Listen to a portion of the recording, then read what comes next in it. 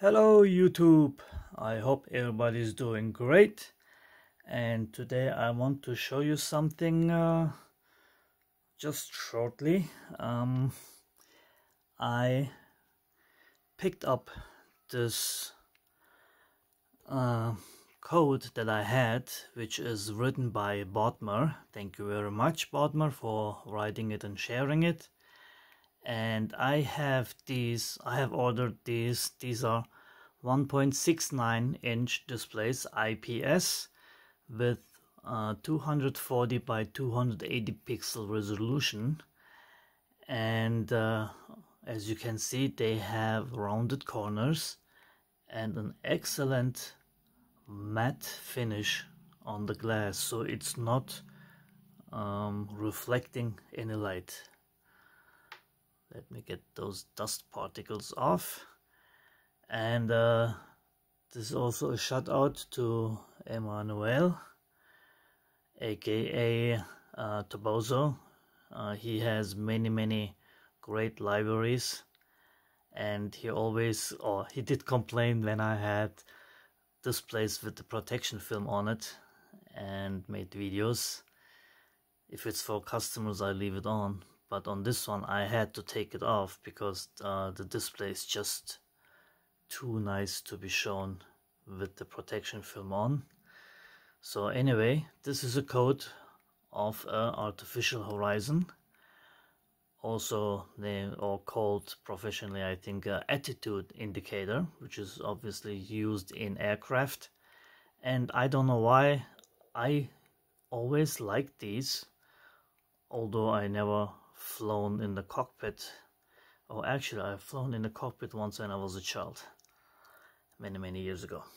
So anyway, um, other than that, I have nothing to do with aviation, but I am, I do like aviation instruments. This is my altimeter that I have, and um, I think this will be a nice addition as the attitude indicator. Well, anyway, um, this code is currently running on an Atmega 328 and it's pretty slow. And obviously this code was written actually for initially for a display with 160 by 128 pixels. So it runs faster on there. So anyway, uh, I put a picture on this of this on uh, Instagram and uh, Twitter. And Mike, hi Mike, thank you for all your contributions. And Mike liked it also, and he said, uh, please do make a video. And uh, here it is.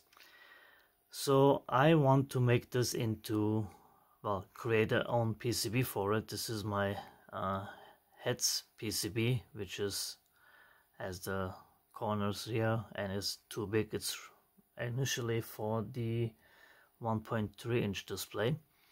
So anyway I want to create a new PCB only for this display oh just for this display but using the ESP32 T what is called T micro 32 so this is a smaller version of the ESP32 module and as you can see it will be very easy to put this on here along with a lipo charging circuit and whatnot and and well this is only demo code so it's just running by itself.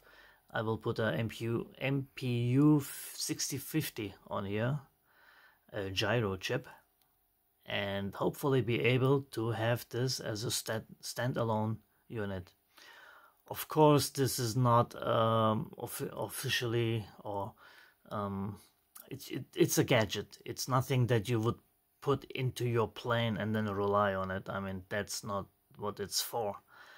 But i do like it and uh, while trying out this display i stumbled up on this code. I had it for many many years.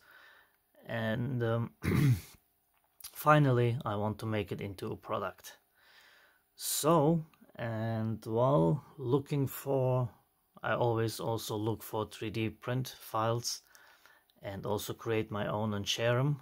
And by the way, I switched to another site. I will put a link in the description where you can download all my uh, 3D designs if you wish to. They're also still on Thingiverse. Anyway, I found this case which is made for a clock and uses, as you can maybe probably tell, it's uh, based on the Apple Watch. And this is actually made for this display including a Apple Apple Watch. I don't know which one but I think it's a 44 millimeter sized uh, glass uh, protection glass that uh, you can buy. And this case uh, fits that glass. I did not I do not have the glass yet I will probably make some small design changes to this. And uh, anyway I like it. I mean it's not that you're gonna wear this on your wrist obviously but since it has this design you could make a 3D print file that you can slide in there and have it as a keychain or make this magnetic and then stick it in your car or whatever. I will probably do it or just even make it as a keychain uh, one other use that this could be used for is in RC planes or drones where you mount it somewhere that you can see through your camera. Obviously, I know there are all kinds of gimmicks out there that you can record video including all the uh, data um, but it's just numbers I think. So it's nothing visual like this. So you could put this into your RC plane helicopter or whatever and then record a video of it while it's flying and then to see the artificial horizon. So I think that would be nice. So obviously I will have to adjust the code. I don't know if I'm gonna be able to do it myself um, haven't worked with uh, gyros a lot or actually not at all. And um, I want to have this like in this case it should probably fit. I can make it fit. And uh, instead of mechanical switches maybe make the touch sensors because actually this board has four touch sensors on each side which are obviously not used by this code right now. But uh, that way you could uh, touch the sensor and then calibrate it because if you're gonna mount it you're not gonna mount it up the way straight like this. It's gonna be maybe like that. And then you want to um, calibrate the pitch angle. So you could then touch the sensor and then it would calibrate itself and reset itself and then you can um, use it as like that I might, I don't know, because I'm gonna have some room on the board. Um, maybe put a SD card on there for uh, saving the data, the roll and pitch angle to the SD card. So that's all possibility. Um, since the ESP is much faster, the Mega chip runs on 16 megahertz. This runs up to 240 megahertz. So I'm assuming the display will be much, much smoother with the ESP.